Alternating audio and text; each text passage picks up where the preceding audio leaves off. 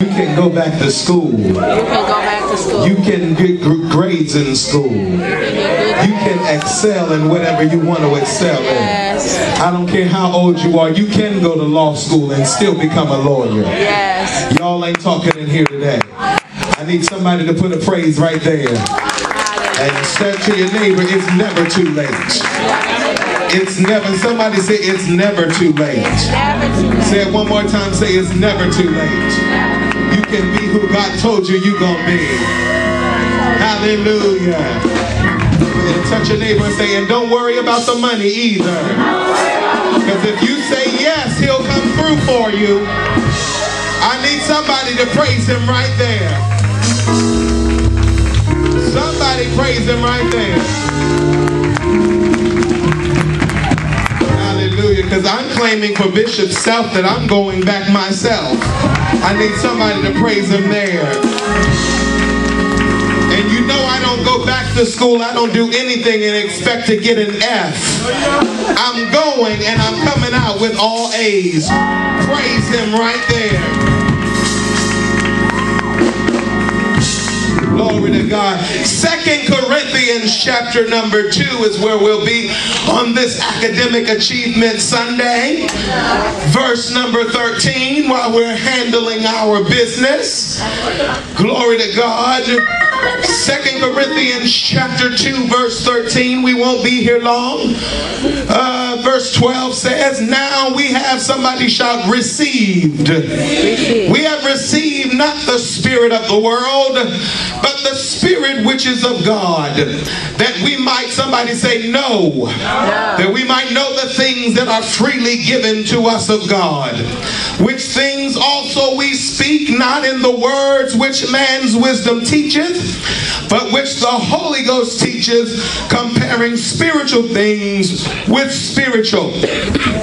But the natural man receiveth not the things of the Spirit of God, for they are foolishness unto him, neither can he know uh, of them because they are spiritually discerned. But he that is spiritual judgeth all things, Thank you yet he himself is judge of no man. For who hath known the mind of the Lord, that he may instruct him? But we have, somebody say, the mind of Christ. Say it one more time. Say, I have the mind of Christ. I need y'all to touch your neighbor real good and say, I got the mind of Christ. Bishop wants to talk for just a few moments from the subject, the Holy Ghost for dummies. Uh, uh, touch a neighbor and say, the Holy Ghost for dummies. Ah, God, I feel like preaching in here. I need you to high five somebody and say, The Holy Ghost has come for dummies. Oh, I, I'm not implying that anybody in here is uh, an idiot, if you will. Hmm. I, I, I don't make implication that you are uh, stupid if uh, you suppose. Uh, touch your neighbor and say, he ain't tell you that you were an idiot. You are not an imbecile. You are not. You are not stupid. You are not dumb. Uh, sometimes you might seem a bit going today. Touch your neighbor and say, the Holy Ghost for dummies. We've been in a series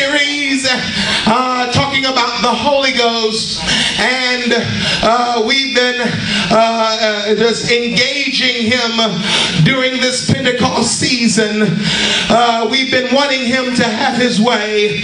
We've been wanting Him to super rule and all of these things. But touch your neighbor and say, neighbor, the Holy Ghost uh, is for dummies. The Holy Spirit reminds us that we are always in need of His teaching, regardless of our age, our education, or our years of experience. Touch your neighbor and say, neighbor, you don't know it all. I believe that we can have a better church, not just in the natural, but also in the spiritual. If we come to a place in our lives where we confess that I don't know it all. I don't have it all. I don't know it all. I've been to Bible class since I've been saved and I still don't have it yet. Y'all ain't talking in here today. I've been preaching for 20 years. I have prophesied. I have prayed. The Lord has used me. But I still don't know everything that is to know about God. Ah, touch your neighbor and say, neighbor, you don't know it all. And that's the problem with the African American church is that everybody comes through these two doors acting like they got it all together and they know it all. And nobody can tell you or teach you anything. But touch your neighbor and say, neighbor, God wants to teach you some things today. John writes in his gospel, but you have an anointing from the Holy One. And all of you know the truth. But as his anointing teaches you about all things, and as that anointing is real and not counterfeit, just as it has taught you, the Bible says you got to remain in him. Touch your neighbor and say, neighbor, if I'm going to get something in the spirit realm, if I'm going to find wisdom in him, I got to remain in him. No grades in school and I don't remain. Touch your neighbor say, I got to remain in him. Oh, I feel like preaching in here. In order to remain in him, you've got to ask the Lord to keep you humble and teachable so that you never grow too old, too educated, and too experienced to learn from God.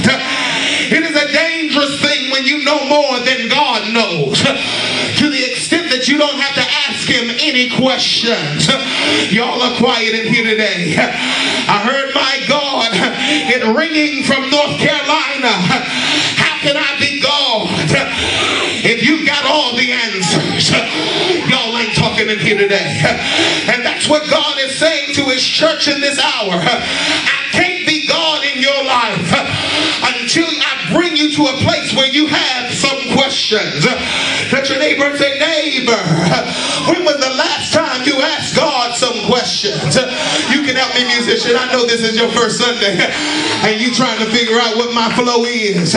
We just gonna get on the train and ride it for just a few minutes. Touch your neighbor and say, neighbor, God wants to be God. And so he gives you some questions. That's why he takes you through places and times and seasons of transition where you thought you had it all together. He takes you to places where you don't have it together anymore. Can I just preach from y'all today?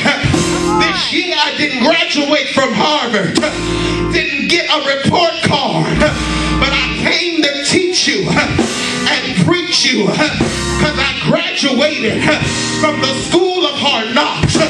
Y'all ain't talking here today. But the medicine was working, and God took me to a place where I had to ask Him all over again. Y'all ain't talking in here. God will bring you through times and seasons, not for your destruction, but for your teaching. Touch your neighbor,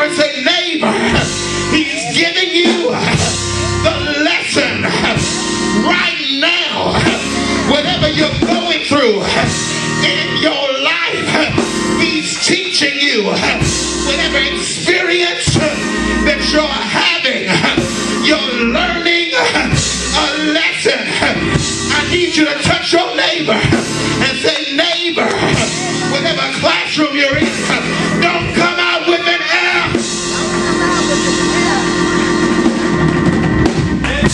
Touch your neighbor one more time and say, whatever classroom you're in, don't you come out with an F. much. You trust Him too much to come out of the classroom with an F. The second point I want to leave you is the Holy Ghost will remind you that you are not able to be right all of the time. Come on. Uh, touch your neighbor and say, You ain't right all of the time. Not right all the time. Some leaders, some people, uh, some people who have been in church all their life need to be right all the time. Just let you know that it's not the devil that's messing with you right now. Your biggest hindrance is your own mind. Y'all ain't talking here. Touch your neighbor and say, neighbor, you are your biggest hindrance because you fail to learn and you fail to mature in Christ Jesus. I need somebody to